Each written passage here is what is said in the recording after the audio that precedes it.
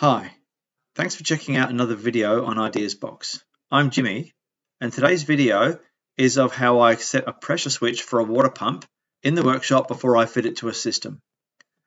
I find this much easier and cleaner. I also adjust my workshop compressor and show one thing to check on a pressure switch if you're having trouble setting one that's been in place for a while. Anywho, let's get into it. Okay, in this video I'm going to show you how I set one of these pressure switches because this is just a, um, a pressure switch that I've put an air fitting in and I'll show you why I've done that in a minute. So I want this pressure switch to operate this pump. I want the pump to come on at about 25 to 30 psi. That, that's not super important, but I want it to go off at 60. I don't really want more than 60 psi in this system. So what I'll do is I'll just, this is how you adjust, this is the one you muck around with most. This is the one that sets the pressure. This is the one that sets the absolute upper pressure that it'll switch off at, which is, I like to use that one to set it at uh, 60. So I'm going to set, set it so that the pump comes on at about 25 to 30 and goes off at about 60. So let's do that now. The first thing you do is, I don't want this pump to get more than 60 psi and there's 100 in here at the moment. So I'm just going to bleed that pressure off.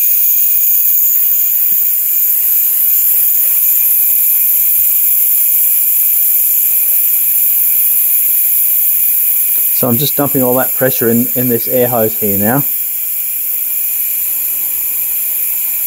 I'll get that down to about about 30. So that's now on about 30 psi. Okay, so now I connect this.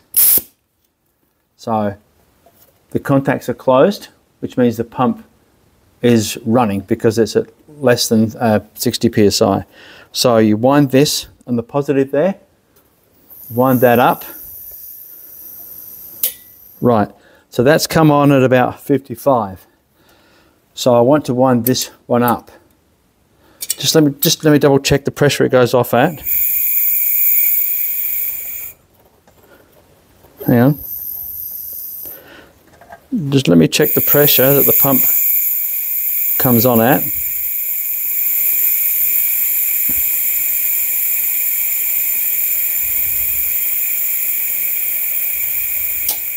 Yep, that's near enough 30, pretty close, about the thickness of the needle. And it's going, the pump is going off at 55. So I've got this one right. I've got this adjustment here right. I just need to wind this one down a little bit. But what I'll do is, because you want a little bit more pressure on that spring, what I'll do is I'll wind it up a fair way. I don't know how many flights that is. I should probably should have been counting, but never mind. So I'll just get that to turn off again. To turn on again, sorry.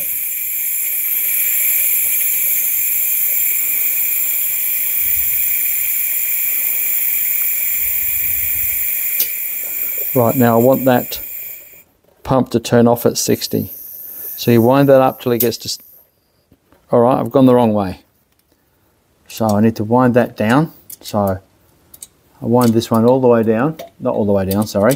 I wind this one down fairway. That's two turns, three turns, four turns. Now I'm pretty sure that'll be well above 60. So I'll bleed the pressure off till the Pump comes back on. Watch the contacts close at 30 psi.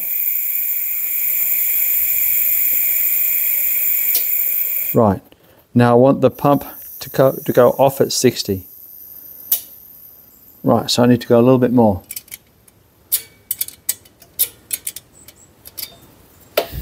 Just run through that again. It's a little bit time consuming, but it'll get you there.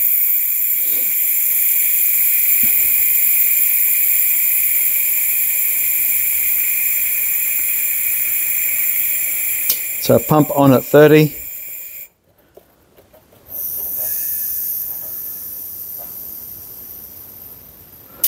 Right, oh, look at that, spot on 60, that was lucky. What I had thought I was going to do is, in fact, I'll show you. Give that another couple of turns.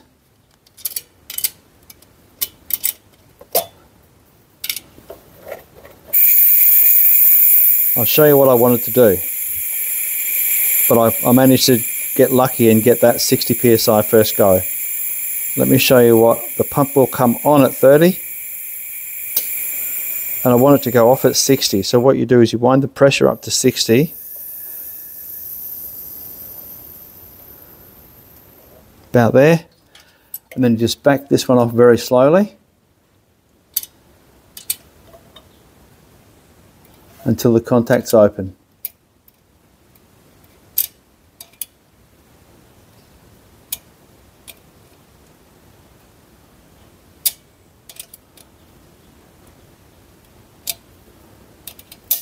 Oh, there we go. So now the contacts open at 60 and shut the pump off and they will come on. We'll go through the rigmarole again. It's a little bit time consuming, but it's better than trying to do it with a water pressure with a pump running on and off. I'll just shut the compressor off so it doesn't start up. So there's 30 and there's the pump on. Contacts are closed.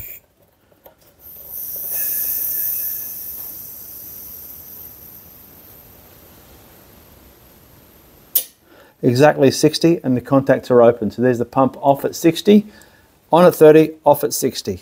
So that's how I set these switches. I just find that it's a bit easier here in a clean workshop than in a grubby shed full of spider webs and possibly snakes and water leaks and yeah, it might be dark. It's just a pain in the neck. So that pump switch is now near as shit as to swearing to being set exactly right for the job I want.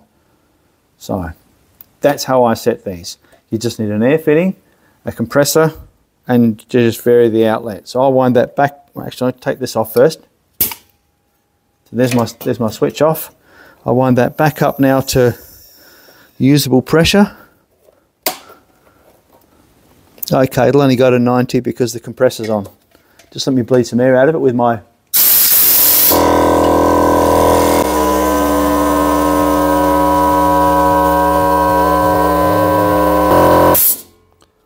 Okay, so I don't know why it's gone that far up, but let's have a look at that while we're here, shall we? I think it's just a screw in that hole there. I'm not happy with that being up at 120 psi. Pretty sure there's just a screw in here. There we go. Right, so I think I just adjust that one there.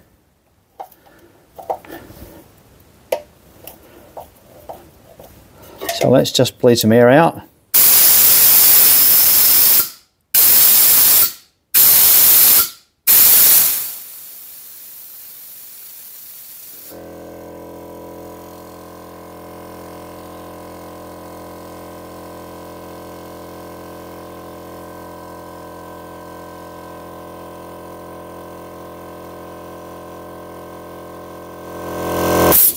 That's better. That's exactly 100 psi. That's all you want in that little tank. You don't want 120. That wasn't good at all. So yeah, don't touch any of that. That's, that's live with power. But it is perfectly safe to put that screw in there and to adjust that screw in the top there as you just saw. So yeah, I don't know why that was doing that, but um, anyway, it's fixed now.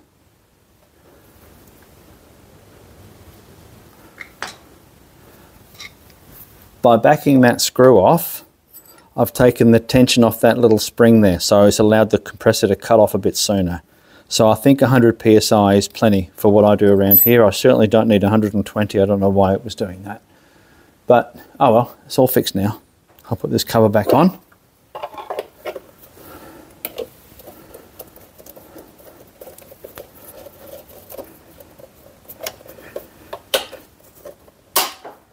There we go like I bought one. Earlier on I said that sometimes um, the only problem you really have with these is that uh, there's a little hole in there that blocks up. Now this one's actually quite large. It looks like it's about maybe five millimeters or so, but I have seen some that are much smaller. They're like a two or three millimeter hole, which is good because it acts as what they call a snubber, a snubber valve, S-N-U-B-B-E-R, a snubber valve and that prevents heavy pulses of pressure going through there and damaging that diaphragm.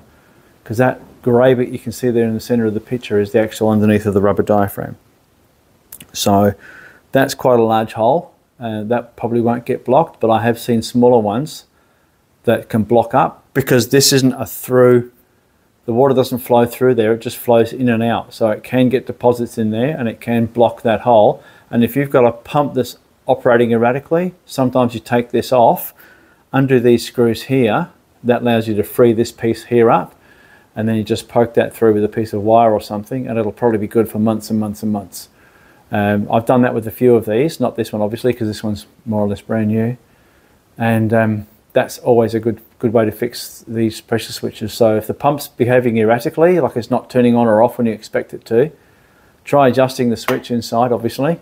And if that doesn't work, then have a look at, take it off and have a look at that, um, that pinhole there because um, that may or may not be the problem. Okay, thanks for watching. I hope this video helped you out. Make sure to click like and subscribe and don't forget that notification bell too. Well, I reckon that's it for today, so bye for now